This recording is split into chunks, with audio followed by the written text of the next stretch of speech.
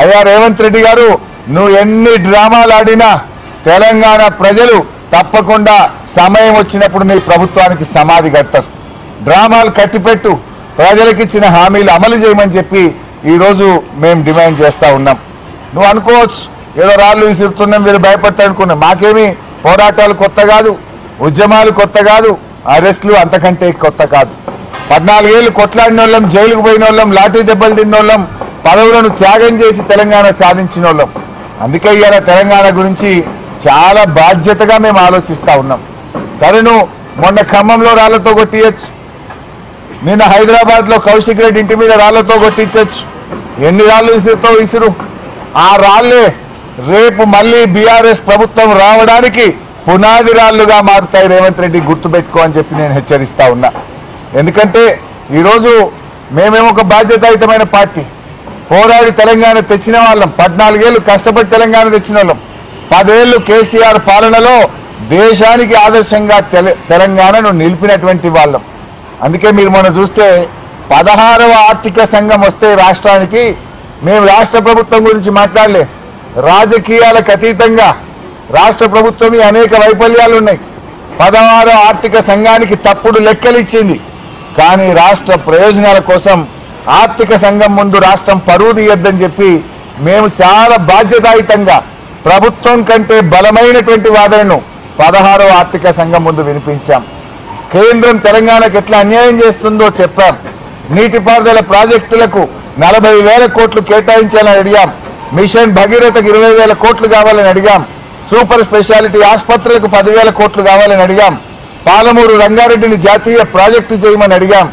అనేక విషయాలు ఆర్థిక సంఘాన్ని చెప్పాం. కానీ మేం చెప్పినంత గట్టి వాదన కూడా రాష్ట్ర ప్రభుత్వం ఆర్థిక సంఘానికి చెప్పలేకపోయింది. ఎందుకు మేము చెప్పినాం?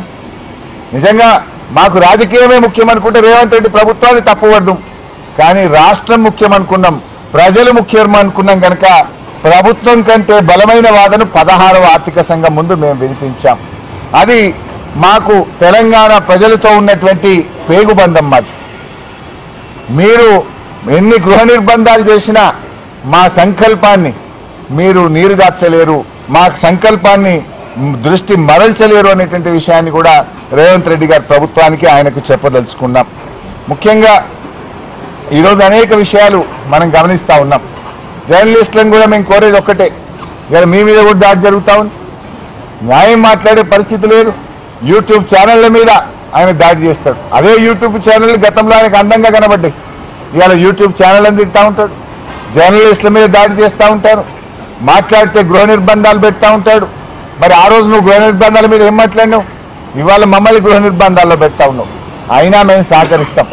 ఎందుకంటే ఈ రాష్ట్రం ప్రతిష్ట దెబ్బతినద్దని తెలంగాణ పోలీసుల గౌరవం దెబ్బతినద్దని నిన్న మేము సహకరించినాం. నిన్న మేము అంత సంయోనంగా ఎందుకున్నాం? అంత ఓపిక్గా ఎందుకు సహకరించాం? మా సంయమనం వెనుక రాష్ట్ర ప్రయోజనం ఉంది. రాష్ట్ర భవిష్యత్తున్నది తెలంగాణ పోలీసుల గౌరవం తగ్గద్దని అత్యంత సంయమనంగా నిన్న మేము సహకరించిన పరిస్థితి. ఈరోజు కూడా మేము ఎందుకు సహకరిస్తున్నాం? దాడికి ప్రతిదాడి చేయలేక కాదు. రాజకీయాల్లో ఈ రాష్ట్ర ప్రయోజనాలు ఆలోచించే వాళ్ళు దాడులు ప్రతిదాడుల గురించి ఆలోచించద్దు. రాష్ట్ర శ్రేయస్సు కోసం హైదరాబాద్ బ్రాండ్ ఇమేజ్ గురించి ఆలోచించాలి.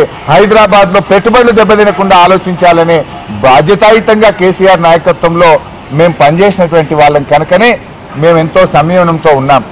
నీకు బాధ్యత లేదు. ఆనాడు తెలంగాణ వద్దని ఆంధ్రోళ కాలంకు అడుగులకు మడుగులెత్తుకుంటూ తిరిగినావు నేను రాష్ట్రం కోసం పోరా పోరాటంలో ఏనాడు కలిసి రానటువంటి వ్యక్తివి నువ్వు.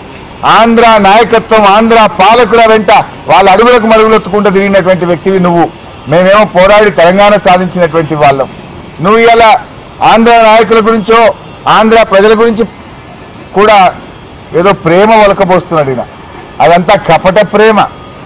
ఎందుకు ఈ మాట అంటున్నా అంటే గతంలో చిన్నజీయ స్వామి గారిని పట్టుకొని ఆయనను కూడా ఆంధ్ర స్వామి అని మాట్లాడినటువంటి నీచుడు రేవంత్ రెడ్డి గారు. ఒక కాంట్రాక్టర్ మన అద్భుతమైన దేవాలయం యాదాద్రి దేవాలయాన్ని ఆనంద్ సాయి గారు నిర్మిస్తే ఆయన ఆంధ్రోడు అని చెప్పి